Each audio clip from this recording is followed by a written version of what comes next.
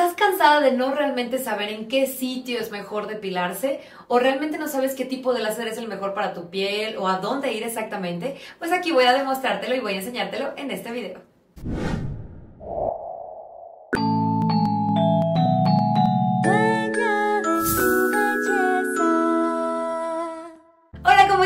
Bienvenido, bienvenida cada vez más, bienvenidos al tema de la depilación permanente o semi-permanente y ahorita te voy a explicar por qué. La depilación es algo que realmente en la clínica llegamos a hacer mucho y es un tema muy muy solicitado por los pacientes porque cada vez existe menos el tiempo de la persona de estarse rasurando, de estarse depilando y aparte no solamente eso, el tema del dolor asociado y, y aparte las incomodidades relacionadas con el crecimiento de vello y a veces incluso la pigmentación por la utilización de rastrillos o de otras formas caseras para eliminar el vello.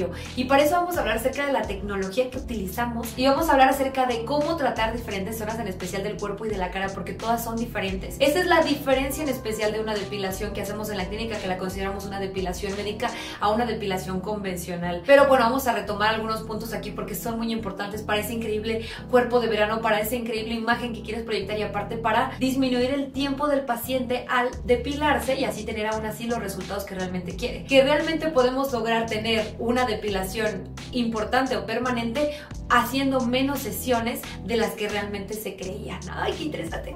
Muy bien, entonces primero vamos a hablar acerca del crecimiento del vello, no solamente del vello, sino hablamos acerca incluso del cabello, que es, una parte muy importante. Todo lo que hay que crece de vello y cabello en el cuerpo tiene tres fases en especial, que la anágena, la catágena y la telógena.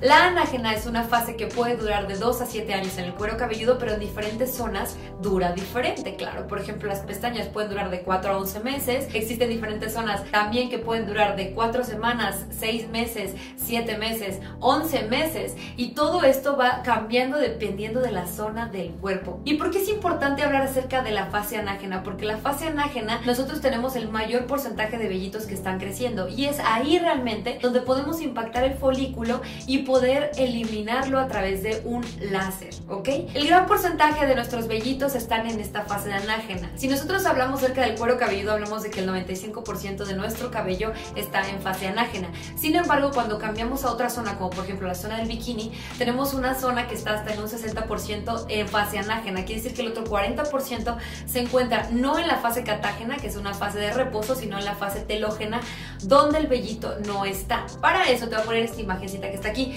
La fase anágena, fase catágena y fase telógena. La fase catágena es en la que el vello se queda justamente ahí, no está en una etapa de crecimiento y la fase telógena es en donde ya no está este vello y está en reposo. Ahí el folículo es cuando se relaja, duerme y está tranquilito para tener una fase nueva y mejor o diferente en la fase anágena si no es impactado por las hormonas o por cualquier otra situación externa como por ejemplo un láser, ¿no? Si normalmente nosotros impactamos esta fase, aquí habría muchos problemas porque los láseres están atraídos a través de un cromóforo, que es un color. Como en esta fase no tenemos este folículo, es imposible impactar el folículo piloso. ¿Ok? Entonces ahí tenemos algo bien interesante de la teoría que hablamos de que un porcentaje mayor está en anágena. Pero si nuestro ciclo de cada una de las zonas de nuestro cuerpo es diferente, ¿cómo vamos a tratar cada zona? O incluso no solamente hablando de esto, también podemos hablar de profundidades. Porque mientras más vamos descendiendo, por ejemplo, si estamos en la carita, nosotros tenemos una profundidad de nanómetros de unos 300 nanómetros aproximadamente respecto al folículo con respecto a la superficie de la piel. Y cuando vamos bajando vamos teniendo 600 nanómetros, vamos teniendo 700 nanómetros, hasta llegar a las piernas que pueden llegar a tener hasta 1000 nanómetros. ¿Qué quiere decir eso? Que el folículo está cada vez más profundo de arriba hacia abajo, a excepción del cuero cabelludo. Entonces, esto que también impacta el tipo de láser que vamos a utilizar y cuál es el que más nos va a funcionar para esto. Tres cosas realmente importantes. La primera, el porcentaje de vellitos en anágena. La segunda, el ciclo de cada una de estas zonas. Y la tercera, que hablamos acerca de las longitudes de onda, que esas son importantes para determinar la tecnología que se va a utilizar. Teniendo en cuenta eso, no podemos depilar las zonas al mismo tiempo que otras. Eso es una de las cosas que son importantes en la depilación médica. Primero, tomar en cuenta también el pigmento que estamos teniendo en la piel. O sea, tener en cuenta el Fitzpatrick, el fototipo de la piel. Y voy a ponerte aquí otra imagen del fototipo 1, 2, 3, 4, 5, 6. Estos fototipos se comportan de una forma muy diferente cuando hablamos acerca de depilar. ¿Por qué? Porque recuerda que el láser está atraído por un cromóforo, por un pigmento, por la melanina. Y la melanina es la que da el color. Si nosotros tenemos a un paciente que tiene fototipo 2 con un pigmento de su vello oscuro, está espectacular, porque entonces el cromóforo solamente va a jalar del vello. Pero si tenemos un paciente con un fototipo que tiene un fototipo número 5 o 6, los cromóforos que tiene alrededor son muchos porque tiene mucha melanina. Tenemos que tener mucho más cuidado de las potencias que impactamos porque es muy probable que le esté dando también a la piel. Por eso es que las pieles morenas hay que tratarlas con mucho cuidado con respecto a la depilación permanente. Por eso es que tenemos que ser mucho más selectivos con el tipo de láser que utilizamos.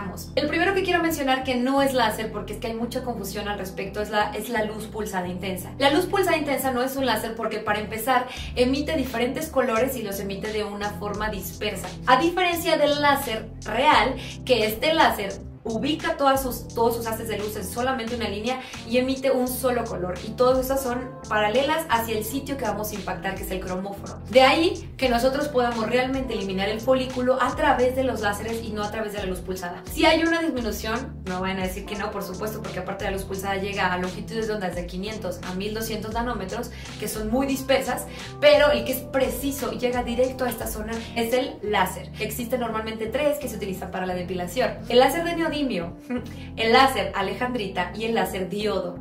El láser de neodimio o N de Jack, este láser puede llegar a longitudes de onda bastante profundos. ¿Recordaste que hablé acerca de longitudes de onda en la primera parte donde mencioné que cada sitio del cuerpo tiene profundidades diferentes de folículos? Pues bueno, el N de Jack es por eso que puede utilizarse de una forma segura en diferentes zonas del cuerpo y sobre todo en pigmentos que son oscuros. ¿Por qué? Porque como es profundo, es menos probable que lastime la capa superficial. Sin embargo, el N de Jack, a pesar de que tiene una bastante buena efectividad con respecto a quitar el vello, no es el mejor utilizado, eh, sobre todo en pacientes latinos, para poder disminuir el vello. Preferimos más otros que causan menos molestias, porque el N de Jack sí puede llegar a ser molesto. Aparte, este es por pulsaciones en especial, no puede ser por ráfaga, cosa que al paciente le quita bastante tiempo en el tratamiento. De ahí pasamos a otra longitud de onda y a otro láser, que es el láser alejandrita. El láser alejandrita, a diferencia del N de Jack, llega a nanómetros más superficiales. ¿Qué quiere decir eso? Que al llegar a nanómetros más superficiales, nosotros podemos llegar a impactar capas donde hay vellos muy finitos y que se encuentran incluso hasta más superficiales. El alejandrita tiene que ser muy muy bien seleccionado el paciente porque normalmente son pacientes que tienen vellos rubios, pieles muy blancas, pieles incluso algunos dicen que hasta pelirrojas podrían ayudar la alejandrita y entonces ahí podemos tener un efecto realmente bueno en este tipo de pieles. Latinas aquí de plano no. Digo latinas las encierro en general porque la verdad es que manejamos pigmentos diferentes. Y de ahí que es el preferido para depilación permanente que es el láser diodo. El láser diodo llega a una profundidad media, llega a una profundidad de 600 nanómetros, 700 nanómetros, que normalmente es el promedio. Cuando hablamos acerca de axilas hablamos de 700, 600 nanómetros, pecho igual. Cuando bajamos tenemos un poquito más de profundidad, pero aún así el láser diodo llega a estas profundidades. Entonces, el láser diodo llega a una profundidad media sin lastimar del todo el pigmento, pero sin ser doloroso en pacientes que tienen pigmentos de fototipo 4 o fototipo 5 incluso, ¿ok? Depende de la tecnología utilizada, también se puede modificar. Y para eso te voy a dar este increíble regalo, es esta tabla que está aquí. Te voy a dar esta tabla para que en dado caso que tengas duda veas más o menos el ciclo del vello aproximadamente para que hagas un promedio de cierto tipo de meses que debes de pasar para poder depilarte de nuevo esa zona y encontrar más de esos vellitos en fase anágena. En estos meses sería recomendable repetir la sesión de depilación permanente para poder entonces tener el efecto que quieres, ¿ok? Porque si tú ves que está creciendo vello, este vello que está creciendo fue el vello que no se impactó. Entonces tenemos que esperar a que todos esos vellitos o el mayor porcentaje de vellitos pasen a fase anágena para entonces hacer la depilación y que sea mucho más efectiva y así disminuimos las sesiones en el paciente. Y pues bueno, espero que te haya gustado este video, pero fíjate cuántas perlas te di, te di muchísima información respecto a la depilación médica. Es algo que hacemos aquí en la clínica, tomamos en cuenta todo y no solamente eso, hay que tomar en cuenta si el paciente tiene algún tema hormonal o metabólico, que eso sí puede condicionar que aunque le depiles al paciente no haya una disminución del vello como realmente queramos y que haya alteración de estas fases y que por lo tanto no obtengamos el resultado que queremos y el paciente va a gastar más tiempo y más dinero, que es lo que no queremos. Te recomiendo seguirnos en Instagram, arroba sandiduena o arroba clínica de tu belleza. Recuerda checar nuestra página web www.duenadetubelleza.com, allí tenemos un poquito de lo que nosotros somos. Recuerda que estamos ubicados en Polanco, Ciudad de México. Si quieres contactarnos, te vamos a dejar los teléfonos aquí en la descripción. Por si acaso, pues quieres venir aquí con nosotros, nosotros felices de estarte recibiendo aquí en la clínica. Y pues bueno, eso fue todo por el video y nos estamos viendo en otro video. Adiós.